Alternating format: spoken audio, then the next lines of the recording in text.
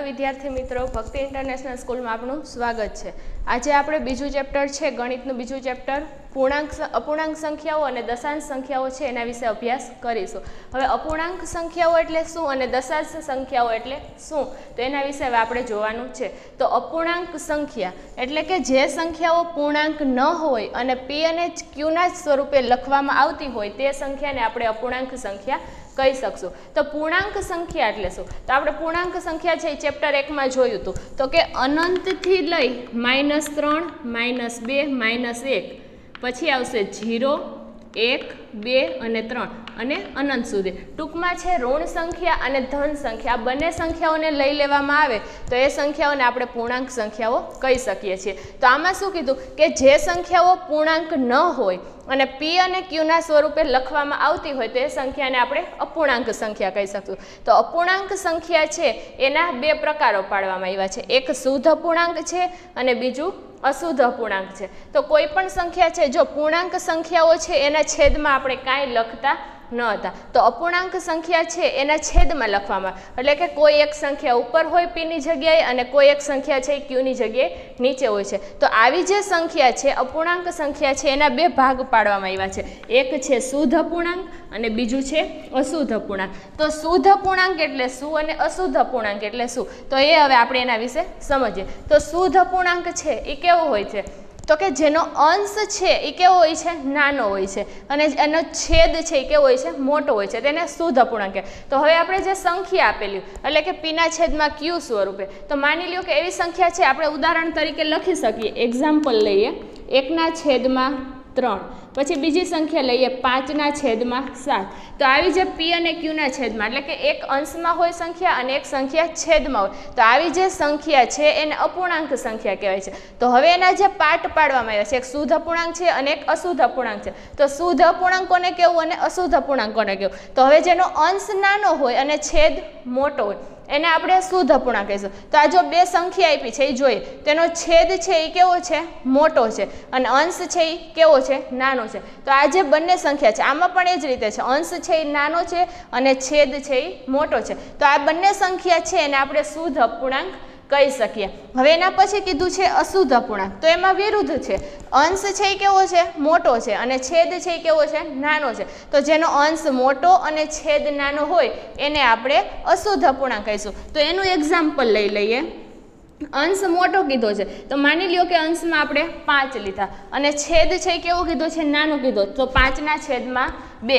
એવી રીતે આપણે દસના છેદમાં ત્રણ આવી રીતે પણ લખી શકીએ. કેમ કે અંશ મોટો અને છેદ નાનો. એને કહેવાય અશુદ્ધ અપૂર્ણાંક સંખ્યા. હવે જે અશુદ્ધ સંખ્યા છે, એને પછી આપણે મિશ્રમાં ફેરવવામાં આવે છે. તો મિશ્રમાં કઈ રીતે ફેરવવી? એ હવે આપણે આગળ દાખલા કરશું, ત્યારે જોશું. તો ટૂંકમાં એની પ્રસ્તાવના છે, અથવા તો એની જે થિયરી છે, એમાં ત્રણ વસ્તુ ધ્યાન રાખવાની છે. એક અપૂર્ણાંક સંખ્યા, શુદ્ધ અપૂર્ણાંક અને અશુદ્ધ અપૂર્ણાંક તો બધું છે એને પાછું જોઈ લે અપૂર્ણાંક સંખ્યા કોને કહેવાય? તો કે જે સંખ્યા પૂર્ણાંક ન હોય, અને પી અને ક્યુના સ્વરૂપે લખવામાં આવતી હોય. તો એને કહેવાય છે અપૂર્ણાંક સંખ્યા. પછી અપૂર્ણાંક સંખ્યાના બે પ્રકારો પાડવામાં આવે છે. એક શુદ્ધ અપૂર્ણાંક અને બીજું અશુદ્ધ અપૂર્ણાંક તો શુદ્ધ અપૂર્ણાંક કોને કે અંશ નાનો અને છેદ મોટો. તો અશુદ્ધ કોને કહેવાય? એનું વિરુદ્ધ. તો કે અંશ મોટો અને છેદ નાનો. આ એના પ્રકાર છે. હવે આપણે અપૂર્ણાંક સંખ્યા છે, એના સરવાળા અને બાદબાકી જોશું. તો સરવાળા અને બાદબાકી છે, તમને સ્વાધ્યાય બે પોઈન્ટ એકનો પહેલો દાખલો છે,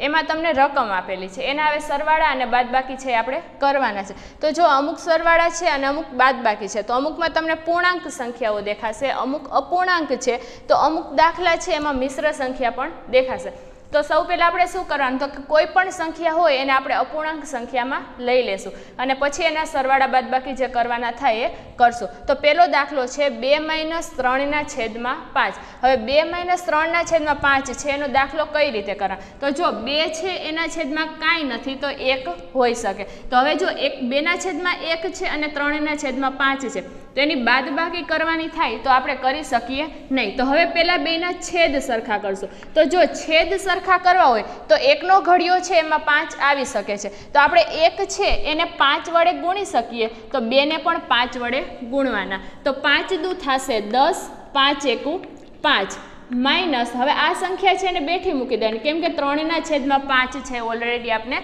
આપેલા છે. હવે જો બેનો છેદ છે એ સરખો થઈ ગયો છે, તો ઉપરની સંખ્યા છે, એની બાદબાકી આપણે સરળતાથી કરી શકીએ. તો ઉપર લખવાનું દસ માઇનસ ત્રણ છેદમાં. હવે જો બેનો છેદ સરખો છે, તો બે વચ્ચે તમે એક પાંચ લખો તો પણ ચાલે. હવે દસમાંથી ત્રણ જાય તો આપણે વધશે સાત અને છેદના પાંચ એમનેમ વચ્ચે. હવે જો સાતના છેદમાં પાંચ, તો આપણે જોયું હતું શુદ્ધ અપૂર્ણાંક છે કે અશુદ્ધ અપૂર્ણાંક તો અંશ મોટો છે અને છેદ નાનો છે, તો આને આપણે અશુદ્ધ અપૂર્ણાંક કહેશું. તો અશુદ્ધ અપૂર્ણાંક છે, એને આપણે મિશ્રમાં ફેરવી શકીએ છીએ. મિશ્રમાં હવે કઈ રીતે ફેરવવા? તો છેદમાં જે પાંચ છે એ એમનેમ જ રહેશે. હવે પાંચનો ઘડિયો ત્યાં સુધી બોલવાનો, જ્યાં સુધી સાત ન આવે. તો પાંચ એકુ પાંચ અને પાંચ દુ દસ. તો દસ છે એ સાતથી વધી ગયા. તો પાંચ એકું પાંચ. હવે જો પાંચ એકુ પાંચ થાય છે અને આપણે લેવાના છે સાત. તો સાત લેવાના છે તો પાંચમાં કેટલા પ્લસ કરશું તો સાત વધશે? તો બે પ્લસ કરશું. તો જવાબ આવશે એક પૂર્ણાંક બેના છેદમાં પાંચ. હવે આપણે બીજો દાખલો જોશું. ચાર વત્તા સાતના છેદમાં આઠ. તો એમાં પણ સેમ એ જ વસ્તુ છે. ચાર છે એ પૂર્ણાંક સંખ્યા છે. તો છેદમાં આપણે એક લખી નાખશું. જેથી કરીને સંખ્યા છે એ અપૂર્ણાંક થઈ જાય. હવે છેદ બંનેના સરખા કરવાના છે. એકમાં એક આપેલા છે અને બીજી સંખ્યામાં આઠ આપેલા છે. તો આ સંખ્યા છે, એને તમે આઠ સાથે ગુણી નાખો. તો આનો છેદ પણ આઠ થઈ જાય. તો હવે આપણે એને ગુણી નાખીએ. તો ચાર છે ને આઠ વડે ગુણીએ તો આઠ ચોક થશે બત્રીસ. એક છે ને આઠ વડે ગુણીએ તો છેદમાં આવશે આઠ. પ્લસ સાતના છેદમાં આઠ. હવે તમને એમ થશે કે આ સંખ્યાને આઠ વડે ગુણ્યા તો આ બીજી સંખ્યા છે, એને શું કામ આઠ વડે ન ગુણ? તો કેમ કે એની છેદ છે ઓલરેડી સરખો છે કોઈ પણ એક સંખ્યાનો છેદ છે બીજી સંખ્યા જેવો કરવાનો. તો હવે જો આઠ છે એ સરખા થઈ ગયા, તો એ બંને વચ્ચે તમે આઠ છે એ લખી શકો છો. હવે બત્રીસ છે એમાં સાત તમારે પ્લસ કરવા છે. તો બત્રીસ વત્તા સાત. તો જવાબ આવશે ઓગણચાલીસના છેદમાં આઠ. હવે જો અશુદ્ધ અપૂર્ણાંક છે, ઉપર સંખ્યા છે એ મોટી છે, નીચે સંખ્યા છે એ નાની છે, તો એને આપણે મિશ્રમાં ફેરવીશું. તો હવે આઠનો ઘડિયો ત્યાં સુધી બોલશું, જ્યાં સુધી ઓગણચાલીસ ન આવે. તો આઠ ચોક બત્રીસ, આઠ પંચા ચાલીસ થઈ જાય છે, તો આઠ ચોક બત્રીસ છે એ નાની સંખ્યા છે. હવે આપણે એ આઠનો અને ચારનો ગુણાકાર કરશું તો જવાબ આપને આવશે બત્રીસ, અને આપણે લેવાના છે ઓગણચાલીસ. તો બત્રીસ છે, એમાં આપણે કેટલા પ્લસ કરશું? તો ઓગણચાલીસ થશે. તો આપણે અહીંયા સાત પ્લસ કરીએ, તો આઠ ચોક બત્રીસ ને સાત ઓગણચાલીસ. તો જવાબ આવશે ચાર પૂર્ણાંક સાતના છેદમાં આઠ. હવે આ સંખ્યા આપણે વાંચી હોય તો કઈ રીતે વાંચી શકીએ? તો જો ચાર છે આપણી પાસે પૂરેપૂરા છે, તો એને ચાર પૂર્ણાંક કહેશું અને સાતના છેદમાં આઠ, એ અપૂર્ણાંક છે, એટલે એને આપણે વાંચશું. તો ચાર પૂર્ણાંક, સાતના છેદમાં આઠ. હવે એવી રીતે આપણી પાસે ત્રીજો દાખલો છે. ત્રણના છેદમાં પાંચ પ્લસ બેના છેદમાં સાત. હવે જો બેની સંખ્યા અલગ અલગ છે, એકની પાંચ છે, એકની સાત છે. તો હવે પાંચની સાત, પાંચના છે, ઘડિયામાં કે સાત આવશે નહીં અને સાતના ઘડિયામાં કે પાંચ ને પણ જો તમે બેયનો ઘડિયો બોલો, પાંચ સત્તા પાંત્રીસ થશે અને સાત પંચા પાંત્રીસ થશે. બેયના ઘડિયામાં એક રકમ એવી છે કે જે સરખી આવે છે. તો આપણે આ બંને સંખ્યા છે ને એકબીજા સાથે ગુણાવી શકીએ. તો જો, ત્રણના છેદમાં પાંચ પ્લસ બેના છેદમાં સાત. હવે પાંચ છે, એની જગ્યાએ આપણે પાંત્રીસ લેવાય. તો એને સાત વડે ગુણાવશું તો સાત પંચા પાંત્રીસ થઈ જશે. તો નીચે સાત વડે ગુણાવ્યા તો ઉપર પણ સાત વડે ગુણાવવાના હવે અહીંયા સાત છે, ત્યાં આપણે પાંત્રીસ લેવા હોય તો સાતને પાંચ વડે ગુણાવશું તો પાંત્રીસ આવી જશે. તો નીચે પાંચ વડે ગુણાવ્યા તો ઉપર પણ પાંચ વડે ગુણાવવાના હવે આટલું થઈ જાય. પછી શું કરવાનું? તો કે એનો ગુણાકાર કરી નાખીએ. સાત તેરી એકવીસ, સાત પંચા પાંત્રીસ પ્લસ પાંચ દુ દસ અને સાત પંચા પાંત્રીસ. તો જો હવે આપણે જે સ્ટેપ મળ્યું એ આગળના દાખલામાં કર્યું, એ રીતે સિમ્પલ આવી ગયું. હવે કરી નાખીએ એનો સરવાળો.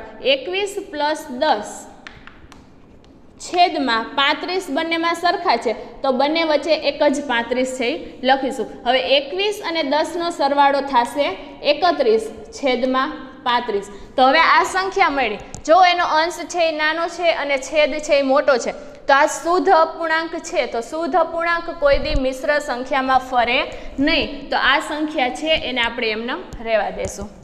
એના પછીનો દાખલો છે. નવના છેદમાં અગિયાર, માઇનસ ચારના છેદમાં પંદર. હવે આપણે ખબર જ છે કે અગિયારના ઘડિયામાં પંદર ન આવે અને પંદરના ઘડિયામાં અગિયાર ન તો હવે શું કરશું? તો કે એ બેનો ઘડિયો કરશું એમાં જ્યાં એક સરખી સંખ્યા આવશે એની અરે ગુણાઈ દેશું. તો હવે તમને એમ થાય કે મેડમ અગિયારનો ઘડિયો બોલી તો અગિયાર દસ એકસો દસ પછીથી આગળ શું કરું? તો પંદરનો ઘડિયો છે ઘડિયો છે, પંદર દસ એકસો પચાસ. તો એમાં કે અગિયારનું ન આવ્યું? કે નો, પંદરનું આવ્યું. તો શું કરશું? જ્યારે આવી જ્યારે મોટી સંખ્યા હોય અને જ્યાં એકાબીજાના ઘડિયામાં ન આવતા હોય, ત્યારે શું કરવાનું? તો કે સંખ્યા છે એને આડાવડી ગુણાવી નાખવાની. અગિયાર છે ને પંદર સાથે ગુણાવાના અને પંદર છે ને અગિયાર સાથે ગુણાવાના. ચાલો હવે એનું જોઈ લઈએ. નવ છે એને પંદર સાથે ગુણાવો. નવ ગુણ્યા પંદર છેદમાં અગિયાર ગુણ્યા પંદર.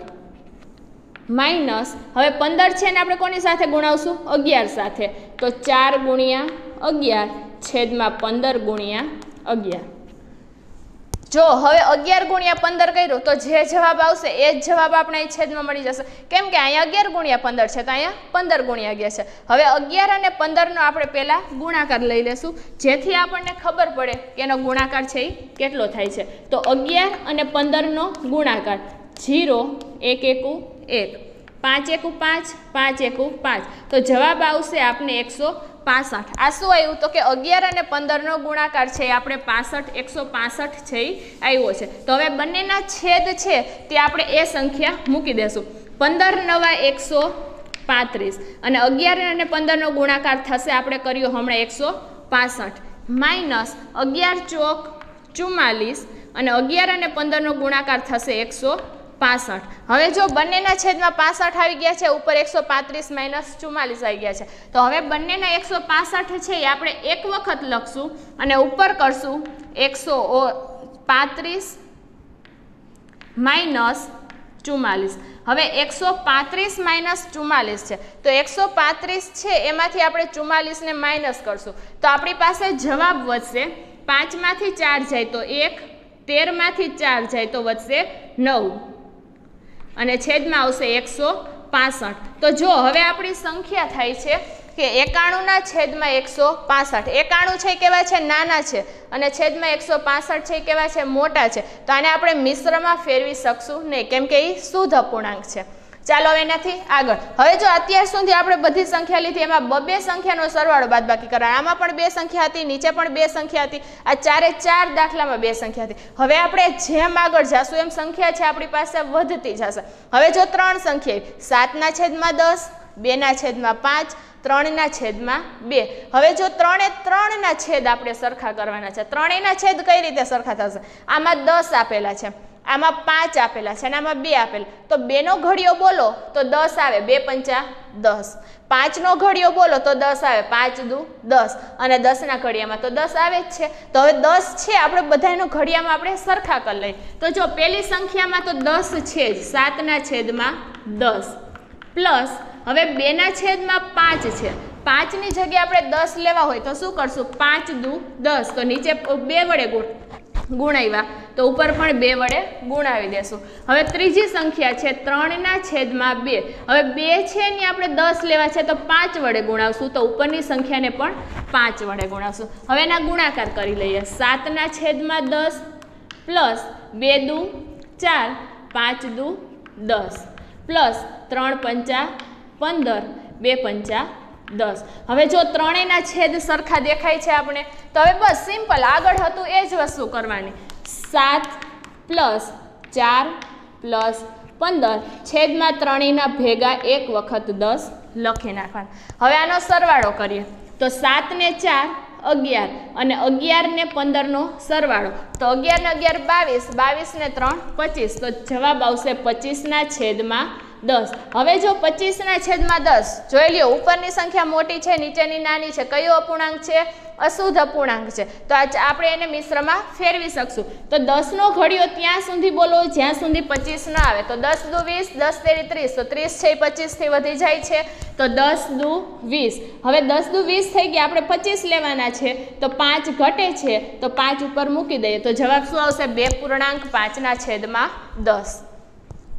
એના પછીનો દાખલો છે. બે પૂર્ણાંક બેના છેદમાં ત્રણ પ્લસ ત્રણ પૂર્ણાંક એકના છેદમાં બે. હવે જો આ સંખ્યા તમને શેમાં દેખાય છે? મિશ્રમાં દેખાય છે. તો આપણે પહેલાં શું કરશું એને? અપૂર્ણાંકમાં ફેરવી દેશું. તો અપૂર્ણાંકમાં ફેરવવી હોય ત્યારે પહેલાં ક્રોસ ગુણાકાર કરવાનો અને પછી ઉપરની સંખ્યા છે એમાં પ્લસ કરવાની અને છેદનો છેદ એમને મૂકી દેવાનો. આ તો આપણે બધાને ખબર જ છે. બરાબર? તો ચાલો પહેલાં એને અપૂર્ણાંકમાં ફેરવી દઈએ. ત્રણ દુ છ. છને બે આઠ. આઠના છેદમાં ત્રણ. પ્લસ ત્રણ દુ છ. છને એક, સાત. સાતના છેદમાં બે. હવે જો એકનો છેદ ત્રણ છે, એકનો છેદ બે છે. ત્રણના ઘડિયામાં બે નથી આવતા બેના ઘડિયામાં ત્રણ નથી આવતા અને બંને સંખ્યા અલગ અલગ છે. તો આપણે એવું કરી શકીએ કે ત્રણને બે વડે ગુણાવી દઈએ અને બેને ત્રણ વડે ગુણાવી દઈએ તો ચાલો એ રીતે કરીએ. આઠના છેદમાં ત્રણ પ્લસ સાતના છેદમાં બે. હવે આપણે ત્રણ છે ને બે વડે ગુણાવશું. તો નીચે બે વડે ગુણાવ્યા તો ઉપર પણ બે વડે. હવે બે છે ને ત્રણ વડે ગુણાવશું તો નીચે પણ ત્રણ વડે અને ઉપર પણ ત્રણ વડે. હવે એનો ગુણાકાર કરી લેશું. આઠ દુ સોળ અને ત્રણ દુ છ પ્લસ સાત તેરી એકવીસ અને ત્રણ દુ છ. હવે જો બંનેના છેદ સરખા થઈ ગયા છે, તો સોળ પ્લસ એકવીસ છેદમાં છ. સોળ અને એકવીસનો છ સરવાળો છ ને એક સાત, બે ને એક ત્રણ, સાડત્રીસના છેદમાં છ.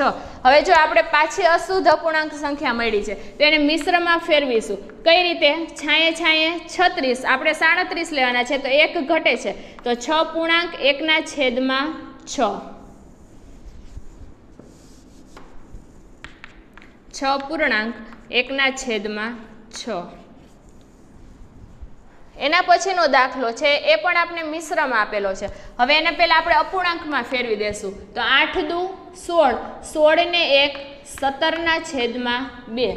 માઇનસ આઠ તેરી ચોવીસ, ચોવીસને પાંચ, ઓગણત્રીસ. ઓગણત્રીસના છેદમાં આઠ.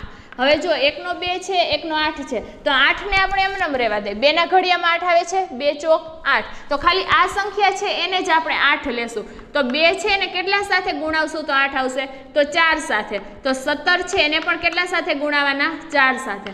માઇનસ ઓગણત્રીસના છેદમાં આઠ. સત્તર ગુણ્યા ચાર. તો સાત ચોક અઠ્યાવીસ. ચાર એકુ ચાર. ચાર ને બે, છ. સત્તર ચોક અણસઠ અને ચાર દુ આઠ. માઇનસ ઓગણત્રીસના છેદમાં આઠ. હવે અંશ છેદ છે એ સરખા થઈ ગયા છે, તો એક વખત લઈ લે.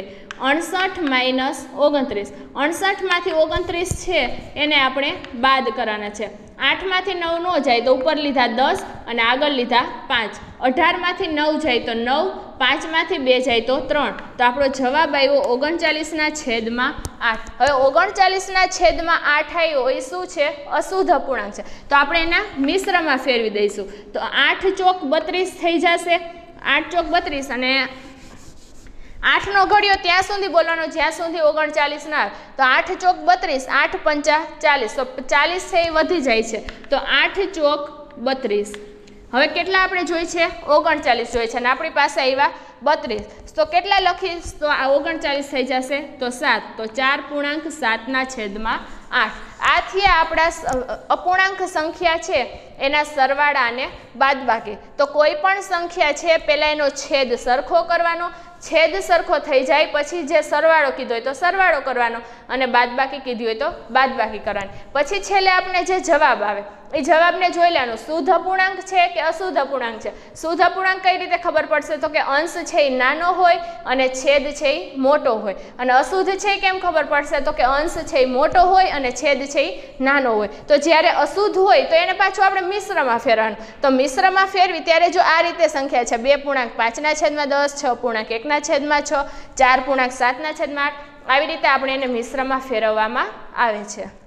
વિદ્યાર્થી મિત્રો, આપણે જ્યારે સ્કૂલ ચાલુ હતી ત્યારે આપણે ખબર જ છે કે મારો જ્યારે લેક્ચર આવતો ત્યારે આપણે પાંચ મિનિટ છે એ ગેમ તો આપણે રમતા હતા. તો તમને એમ થશે કે પહેલું ચેપ્ટર આખું લીધું મેડમે એકઈ વખત ગેમ ન રમાડી? મેડમ શું ભૂલી ગયા હશે કે શું છે? પણ ના, હવે આપણે એવું નહીં કરીએ. હવે બીજું ચેપ્ટર આપણે શરૂ કરશું, ત્યારે શું કરશું? કે આપણે જેટલા વીડિયો હશે ને, બધા વીડિયો પૂરા થશે ને, એટલે હું તમને એક કોયડો આપીશ. એ કોયડામાં તમારે એવું કરવાનું કે હું તમને એક કોયડો આપીશ તમારે એ જાતે સોલ્વ કરી અને એનો જવાબ છે એ રાખવાનો. પછીનો જ્યારે વીડિયો આવશે, ત્યારે છેલ્લે હું તમને કોયડો પણ આપીશ અને આગળનો જે પ્રશ્ન હશે, એનો જવાબ પણ હું તમને આપી દઈશ. તો તમારે પછી ચેક કરવાનું કે જે આપણે જવાબ કર્યો, એ સાચો છે કે ખોટો છે? જ્યારે સ્કૂલ ચાલુ થશે, આપણે મળશું, ત્યારે હું તમને બધા કોયડા છે, એના જવાબ સાચા છે કે ખોટા છે, એ હું તમને પૂછી લઈશ. હવે જો આજનો આપણો પહેલો કોયડો છે, એ એવો છે. એક વત્તા ચાર બરાબર પાંચ. તો એ તો ખબર જ છે. ચાર ને એક પાંચ થાય છે. બીજી લાઈન એવી કીધી કે બે વત્તા પાંચ બરાબર પાંચ. તો તમ સોરી બાર. તો તમને એમ થશે કે બે ને પાંચ તો સાત થાય, પણ આ બાર છે એ કઈ રીતે? પણ હા એ એક કોયડો જ છે. પછી ત્રણ વત્તા છ બરાબર એકવીસ. અને ત્રીજી લાઈન, ચોથી લાઈન કીધી છે કે આઠ વત્તા અગિયાર બરાબર કેટલા? હવે આ ઉપરના જે તમને ત્રણ કોયડા આપ્યા છે એ સોલ્વ કરીને આપ્યા છે. ત્રણ લાઈન છે એ સોલ્વ કરીને આપી છે. એના જવાબ છે એ સાચા જ છે. પણ હવે તમારે ચોથી જ લાઈન છે, એનો જવાબ કેટલો આવશે એ તમારે જાતે સોલ્વ કરવાનો અને લખી રાખવાનો. હવે આના પછીનો જ્યારે વીડિયો આવશે ત્યારે હું તમને નવો કોયડો પણ આપીશ, નવો પ્રશ્ન પણ આપીશ અને આ જ પ્રશ્ન છે એનો જવાબ પણ આપીશ. તો આ કોયડો તમને આપ્યો છે, એનો જવાબ શોધવા માટે બધાને ઓલ ધ બેસ્ટ.